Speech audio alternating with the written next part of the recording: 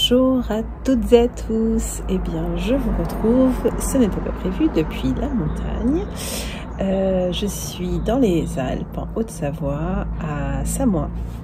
Euh, c'est une charmante petite station que je connais depuis très très longtemps, puisque j'y venais déjà euh, enfant, ado. Voilà. J'y viens pas tous les ans, mais j'y reviens régulièrement parce que j'aime beaucoup. Euh, je devais passer ma semaine sur les pistes et euh, j'avais emmené des tricots pour la soirée, mais euh, j'ai eu un petit, on va dire un incident plus qu'un accident. j'ai fait une chute qui fait que mon genou est blessé. C'est la première fois depuis que je skie et croyez-moi, bah, ça fait plus de 4 décennies. enfin 4 décennies entamées en tout cas que je skie. C'est la première fois que je suis blessée. Ça fait vraiment très bizarre. En plus, aujourd'hui, bah, je vous ai mis à la montagne pour que vous puissiez en profiter. Les magnifiques ciels bleus. C'est euh, la meilleure journée de ski de la semaine et je ne peux pas en profiter.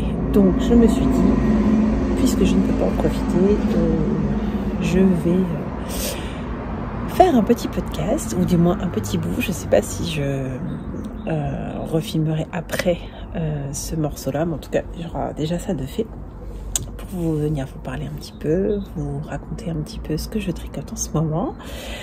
Euh, je démarre, euh, je me rends compte que j'ai démarré directement euh, pour ceux qui me rejoindraient pour la première fois. Donc, vous m'avez trouvé sous le nom de Tricot.mousse. Je me prénomme Nathalie. Euh, j'ai 47 ans, je vis dans le nord de la France. J'ai deux ados euh, qui sont au ski là tout de suite maintenant. Euh, et, et je tricote depuis, bon, je sais même plus combien de temps, mais en tout cas en circulaire depuis 2015. Mais sinon, j'ai touché par première des aiguilles quand j'avais 7 ans. Voilà. ce que je porte, je vous l'ai présenté il y a très très très longtemps parce qu'au tout début j'avais fait le tour de tous mes tricots. Euh, c'est le Ridari, euh, pull islandais tricoté en laine euh, Letlopi de Istex. J'avais acheté le modèle et les laines chez Christine Tricot, qui est hyper hyper fan de l'Islande et qui nous ramène toujours de très très belles choses de ses voyages. Donc, donc voilà, c'est un pull que j'ai adoré tricoter. Je l'ai tricoté trois fois deux identiques pour euh, mon mari et pour moi et un dans avec le corps blanc et les dessins noirs avec un peu de gris foncé je crois pour, euh, pour ma belle-sœur voilà j'espère que vous m'entendrez bien je suis dehors j'ai mis les écouteurs euh, il y a des gens qui voilà j'ai pas envie me regarde bizarrement euh, j'ai mis les écouteurs en espérant que ça fasse, euh, ça atténue euh, le bruit de, l'extérieur. Alors, je vais commencer par un tout petit tricot terminé parce que je crois que je ne vous l'ai pas présenté la dernière fois. Je crois qu'il était en finition la dernière fois. C'est un bonnet que j'ai fait. un bonnet que j'ai fait avec la laine de By Night. Base Pollux, il me semble, euh, en coloris cachou cochenille. je trouve ça absolument magnifique. Donc, c'est de la teinture euh, euh, naturelle que, que Nathalie réalise. Vous pouvez la retrouver sur Insta, sur YouTube. Et c'est une teinturière belge. Voilà, donc une très belle base. Euh, et je me suis amusée à faire en point mousse et à doubler euh, le bas. Donc ici, euh, c'est en la laine de Nathalie by Night et j'ai doublé une partie avec de l'alpaca, un petit reste d'alpaca que j'avais, de l'alpaca de Trops qui était couleur blanc, enfin ouais, blanc un peu écru. Voilà, donc ça fait ça. Donc là, c'est bien exactement la même laine hein, qui est en dessous, mélangée avec l'alpaca.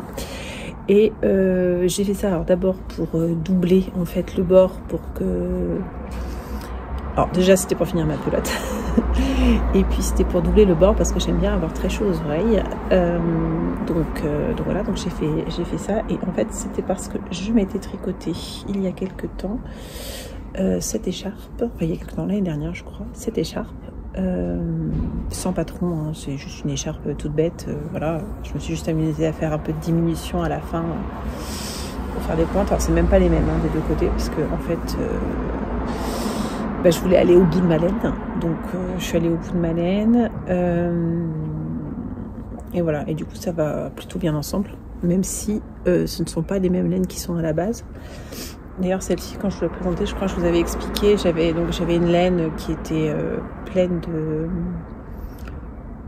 de speckles et tout de, couleurs, donc qu'on aperçoit. Et puis, euh, bah, arrivé au bout, en fait, j'en avais plus et j'avais pas fini mes diminutions. Et donc, j'avais pris un tout petit bout, mais qui me restait mais de rien du tout, d'une laine autorayante qui était dans les mêmes tons. Donc, c'est rigolo parce que bah, dans le détail, on le voit.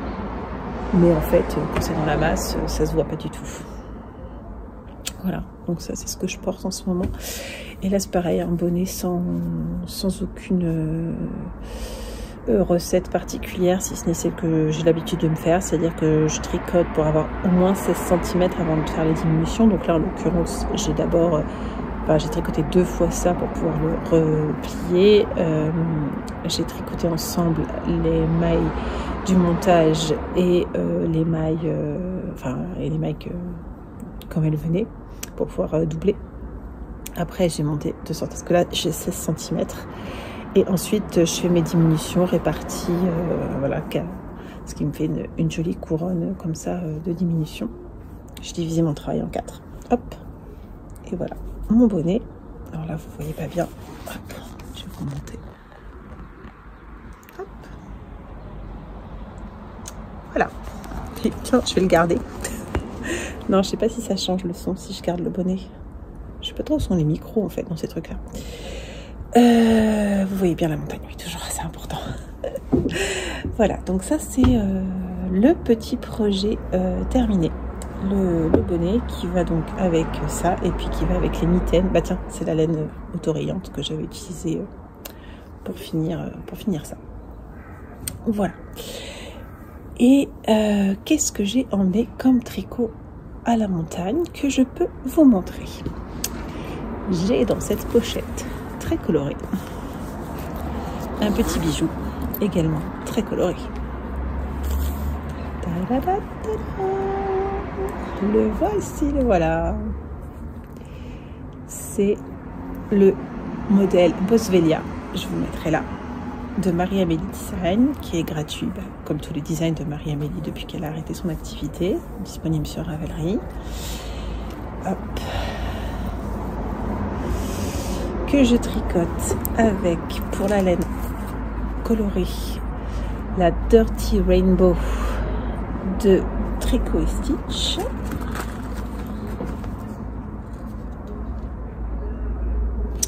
C'est une base Lurex Fingering je ne sais pas si vous allez le voir, pardon, qu'il y a des petits brillants.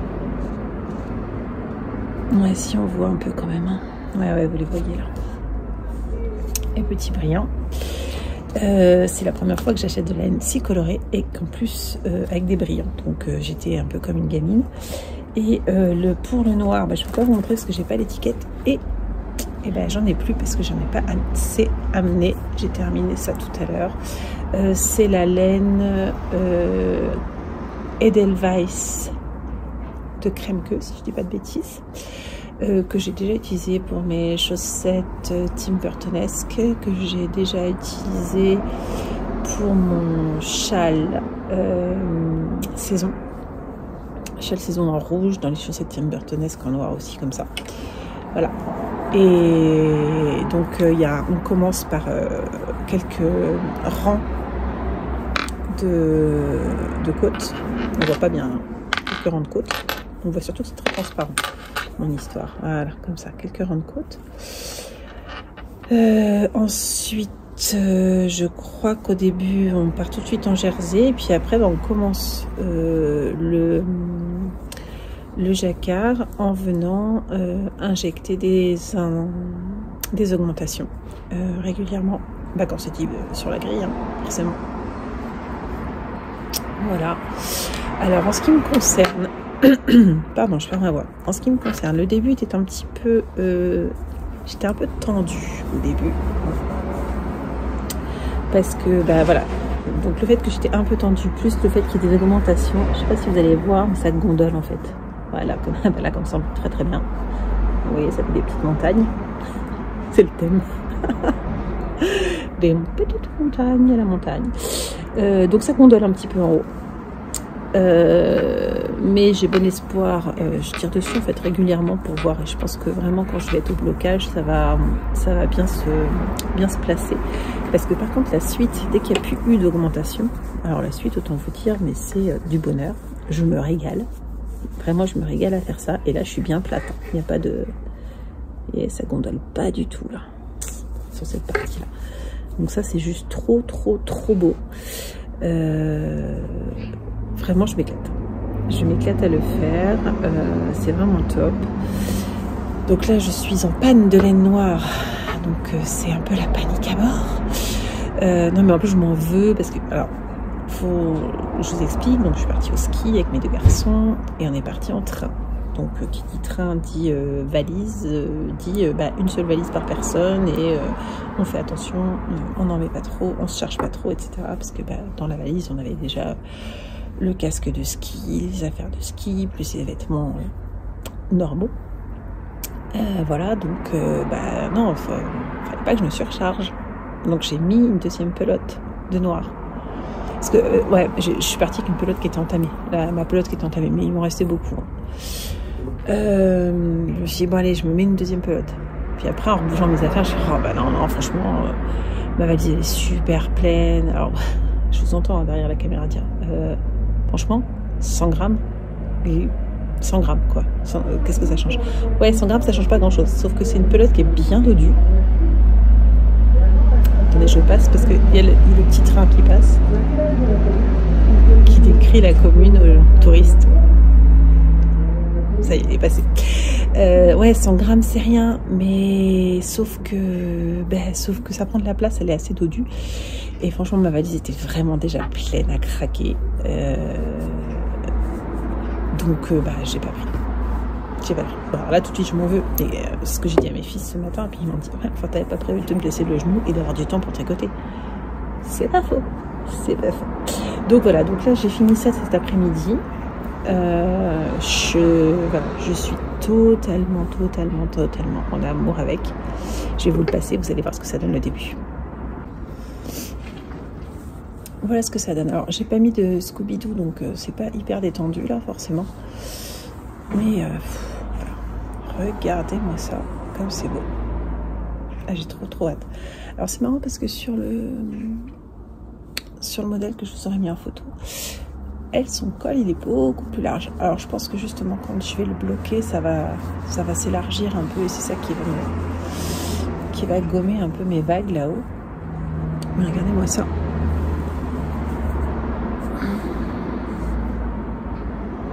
Je suis frustrée de ne pas avoir fini ce dessin. J'avais espéré que la pelote noire irait jusqu'au bout du dessin. Mais non, mais c'est pas grave.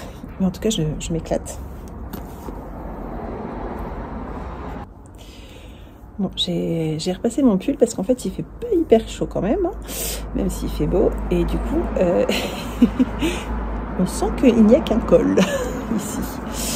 Euh, donc voilà, donc franchement, euh, je le trouve superbe.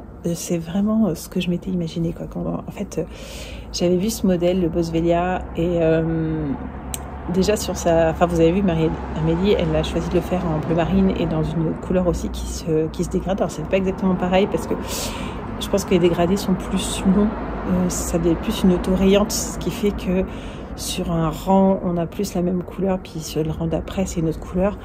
Euh, mais voilà, c'est exactement ce que j'imaginais. Quoi. Je, je, je, voulais comme ça de la couleur qui ressort à fond.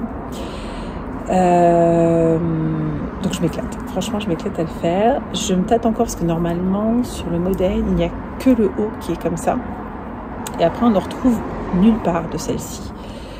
Euh, alors, euh, au début, je me dis, ah mince, est-ce que j'ai assez de noir et tout? En général, hein, pas juste pour cette semaine. Euh, et je me suis dit que peut-être je ferais le bas des manches et éventuellement le bas du pull de refaire un petit motif en fait peut-être peut-être juste celui-ci là celui-ci, euh, de le refaire en bas du pull peut-être et, en bas des manches. Je ne sais pas encore. Parce qu'il va m'en rester beaucoup.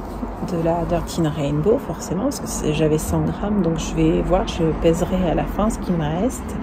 Parce que j'ai deux options. J'ai ça comme option. Et puis euh, j'ai l'option aussi, parce que comme c'est de la laine à chaussettes, bah, de me faire des chaussettes avec. Et j'ai déjà une idée dans ma petite tête. Euh, j'avais très envie de me faire euh, des chaussettes entièrement comme ça, mais de me faire un jacquard. Et peut-être là en bleu, parce que j'ai le bleu Nevermore de. Faut pas que de bêtises. de laine et chaudron, qui était dans sa box mercredi. Et ce bleu, je le verrais bien en fait pour euh, dessiner la lune. j'ai déjà, en fait, j'avais du temps hein, forcément aujourd'hui, et euh, j'ai commencé à dessiner le jacquard que je pourrais faire sur cette chaussette. Ça me tente bien en fait de faire ça. Donc je vais voir, peut-être que je pourrais faire les deux. Peut-être que je pourrais mettre quand même dans le bas du pull euh, et puis et puis en plus me faire me faire les, les paires de chaussettes. Je verrai. Voilà. Et donc bah quand même prudente. Euh, je n'ai certes pas emmené suffisamment de laine noire, mais je m'étais dit, il y aura peut-être des moments où ce sera pas pratique de, tricoter le Boswellia, donc il me faut aussi un tricot nomade. Donc, en guise de tricot nomade, j'avais emmené de la laine de By Night, encore une fois, euh, acheté sur le Ch'ti Bazar, comme la Tricot Stitch et comme la By du bonnet. C'est sa, qualité, je vais y arriver, Starsock. Euh, c'est la première fois que je la que je la tricote. Je suis incapable de vous dire les couleurs parce que je crois pas. J'ai regardé le truc plusieurs fois, mais j'ai pas, pas trouvé la couleur. Donc j'aime beaucoup parce qu'il y a plein de nuances. Mhm. Est-ce que vous allez bien voir? Ouais, pas trop mal. Voilà, et le contrastant. Ouais, la lumière commence à être très très bonne déjà. Et donc j'ai commencé une petite chaussette à la vanille toute simple. Rien de bien compliqué. Avec, euh, j'utilise mes petits marqueurs justement de, euh, de mercredi, de la box mercredi que j'avais eu euh, quand j'avais acheté bah, la, box chez Hélène, Hélène et Chaudron. Euh, et donc là, je fais un petit, une petite chaussette toute simple pour moi finalement. Alors je sais que dans le précédent, j'avais dit, ça c'est mon fils le prochain, euh, la paire en 48 et tout. Il y a plein de gens qui m'ont sauté bon courage. Merci à vous. Euh, en fait, j'ai fait une demi-triche, c'est-à-dire que je suis allée un tricoter, enfin un apéro tricot, avec des copines à Amiens. Et l'une d'elles, Angélique, pour ne pas la nommer, euh, a, reçu un cadeau, je crois, d'anniversaire plus Noël, la machine, euh, euh, comment elle s'appelle? Picnit, quelque chose comme ça, Oli, Oli Picnit, qui permet de faire les chaussettes. La fameuse machine canadienne qui a été fabriquée avec imprimante 3D.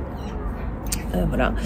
Et donc on a tricoté ensemble un tube à chaussettes avec la laine que je vise pour, euh, pour monsieur, monsieur 48.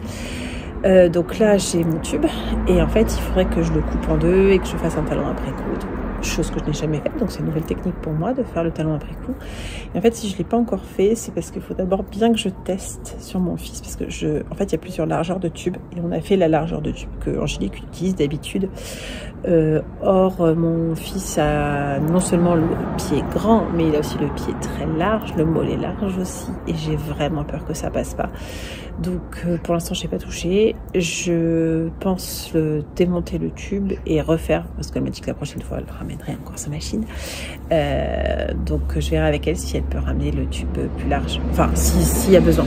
Je vais vérifier, mais je, suis pas mal sûre qu'il y ait besoin parce que bah, elle a le pied tellement large. Je me dis, si les tubes les plus larges, c'est pas pour un pied comme le sien, je ne sais pas pour qui c'est. Euh, voilà. Euh, enfin, si, il doit bien y avoir des gens qui ont le pied encore plus large que mon fils, mais quand même, il est très très large. Euh, donc voilà, donc celles-ci pour le coup, elles sont pour moi. Et j'aime vraiment beaucoup ces couleurs. J'espère. Ouais, si vous les voyez pas trop mal, là c'est pas très net, mais vous les voyez pas trop mal. Voilà. Donc euh, bah ça, ça va monter tout seul maintenant parce que j'ai plus que ça. j'ai plus que ça que je peux tricoter. Donc je les tricote comme vous pouvez voir sur les mini circulaires. Moi en fait en général je fais toute la, la partie pointe en Magic Loop et une fois que j'ai fini les augmentations et le Magic Loop, parce que j'arrive pas bien à faire mes augmentations, je trouve qu'elles sont pas belles quand je suis en mini circulaire. Après, je fais deux rangs euh, avec le Magic Loop et après, je pars en, mini circulaire. Euh, voilà, parce que j'aime bien, j'aime bien le, voilà, le, mouvement que ça donne, le rythme que ça donne. Euh, voilà, donc euh, le talon sera dans cette couleur un peu, un peu moutarde et euh, certainement aussi le haut des côtés. Mais comme j'ai tout divisé par deux, voilà, là ça c'est une chaussette et puis bah, je l'ai pas là avec moi mais je l'ai à côté. J'ai les deuxièmes boulettes identiques pour bah, la deuxième chaussette. Donc on verra, on verra si, si j'entame la deuxième ou pas. Et voilà, l'avenir me dira si j'ai bien fait d'emmener un peu plus. Bon, sachant que j'ai encore demain comme journée de de non-ski et que samedi il y a de nouveau 5 heures de train, ça devrait monter. Je sais pas si je la finirai totalement, mais je pense qu'elle va bien monter. Euh, ben voilà, c'était mon petit épisode à la montagne. Je vous mettrai 2 euh, euh, petites vidéos de, ma belle montagne. je vous ai pas dit son petit nom lui derrière moi là. Il s'appelle le Cryo. Mais je vous le montrerai mieux que ça. Je vous le montrerai mieux que ça tout à l'heure parce que cet après-midi j'ai réussi à faire quand même une mini balade. J'arrivais à marcher un peu, mais alors euh, pas vite et pas longtemps. Donc je suis allée juste me balader un petit peu au bord. Euh, j'ai filmé un petit peu et puis euh, et puis je suis rentrée. Voilà. parce que je me suis dit quand même il fait beau, il faut que je m'oxygène et que je prenne un peu de rayon du soleil. Euh, voilà, voilà. Et puis bah, demain, euh, ça va être à peu près la même journée.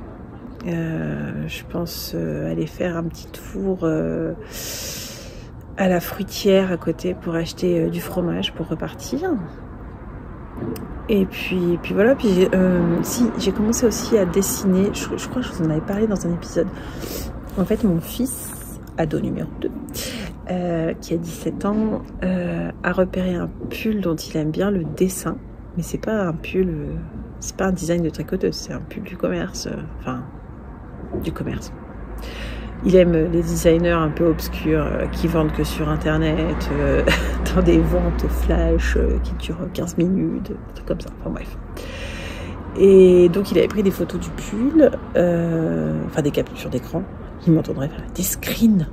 Ouais, bon, il a pris des screens. qui m'a envoyé en me disant bah, est-ce que tu pourrais refaire quelque chose dans le même genre. Et bon, bah, j'aime bien les défis, mais ça fait quelques mois quand même que le défi, je l'ai mis de côté en me disant euh, oui, ça va peut-être lui passer l'envie, hein, parce que vu la taille du pull à faire, euh, faut que je sois sûr, sûr, sûr, sûr qu'il le veuille. Puis ça fait plusieurs fois qu'il m'en reparle en me disant bon, j'ai compris maintenant, quand je te demande un pull, il faut que j'attende deux ans avant de l'avoir. Euh, et donc, bah, du coup, voilà, je vais lui, faire, lui faire son pull parce que j'ai commencé à designer. Euh, et voilà, et donc euh, bah, je vais euh, essayer de calculer un petit peu ce qu'il va me falloir comme laine. De toute façon, je repars de la taille du Montréaler sweater que je lui avais fait, qui lui va super bien. J'avais acheté le patron, donc je vais repartir de la même taille, sauf qu'il n'y aura pas de poche ventrale et qu'il n'y aura pas de capuche. Je l'avais fait en charisma de drops. Il vit bien ce pull. Enfin, je veux dire, il n'y a pas de cloche, il se déforme pas, il lui va toujours très très bien. Donc, je pense vraiment repartir avec la charisma parce que au moins, euh, ça fait un pull qui est euh, pas trop cher, quoi. Euh, et qui est de bonne qualité. Donc, donc voilà, il faut juste que je revérifie avec lui les couleurs. le modèle qui m'a montré est noir et blanc. tricoter un long pull en noir, Pardon, ce que je suis en train de me faire pour moi. Euh, donc je peux plus dire que je suis pas fan. en fait, euh, non, c'est bien, c'est très beau le noir. Non, mais je vais voir avec lui. Je vais, je vais voir ce qu'il a envie euh, comme, comme couleur. Et puis, et puis je pense que je, je vais lui faire. Alors, il le mettra clairement qu'à l'automne prochain, ça c'est sûr. Mais mais je vais l'insérer dans mes, dans mes projets. Voilà. Et puis bah là, euh, c'est à peu près tout ce que j'avais à vous dire pour aujourd'hui. Je vais regarder un peu ce que ça fait tout ça. Je vais voir si... Euh, si je vous délivre juste un mini épisode comme ça, euh, ou si je le, je le, combine avec autre chose. Mais là, je suis en train de me dire que ça fait, un petit épisode sympa après tout, donc euh, c'est pas mal. J'espère que vous allez bien, que si vous étiez en vacances, vous avez pu en profiter, que si vous étiez au travail, bah, vous arrivez à vous dégager du temps pour vos loisirs et pour vous faire du bien, quel que soit la façon dont vous le faites. Euh, voilà, j'espère que tout va pour le mieux et je vous souhaite un très bon temps de tricot. À bientôt